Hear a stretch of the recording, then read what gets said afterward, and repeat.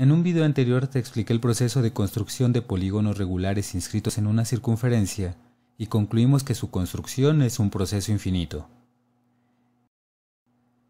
En este video te explicaré los procedimientos algebraicos para calcular el área de un círculo mediante el método de exhaustión de Eudoxio, para que identifiques regularidades de comportamiento, así como de su patrón matemático en el proceso de resolución del problema. El método de exhaustión de Eudoxio permite calcular el área de un círculo de radio r y consta de procesos recurrentes que proporcionan aproximaciones del área del círculo, mediante áreas de polígonos regulares con un número mayor de lados cada vez.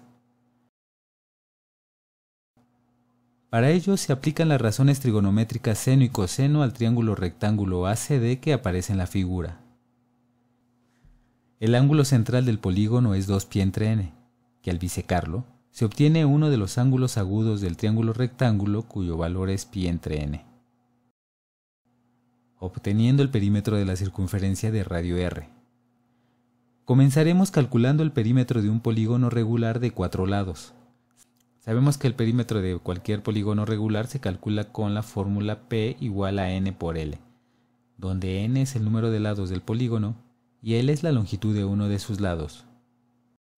Calcularemos la longitud del lado L aplicando la razón trigonométrica seno al ángulo pi entre n del triángulo rectángulo ACD.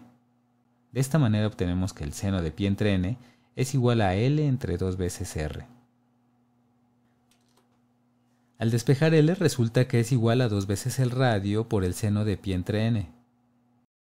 En consecuencia, el perímetro del polígono es igual a 2 veces el radio por el seno de pi entre n por n, donde n es el número de lados. La fórmula muestra que el perímetro del polígono regular depende del número de lados. Los siguientes ejemplos ilustran su aplicación en la obtención de perímetros para polígonos regulares de 4, 8, 100 y 1000 lados. Con base en los perímetros calculados y utilizando tu intuición matemática, reflexiona en la siguiente pregunta. Cuando el número de lados del polígono tiende a infinito, ¿a qué valor tiende su perímetro?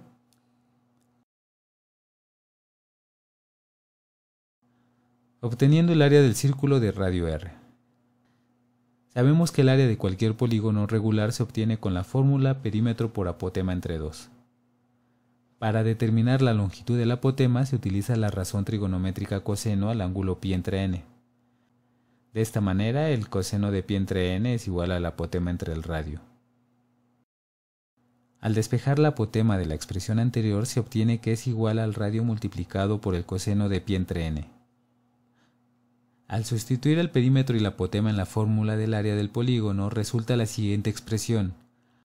Área es igual al radio al cuadrado por el seno de pi entre n por el coseno de pi entre n por n, donde n es el número de lados.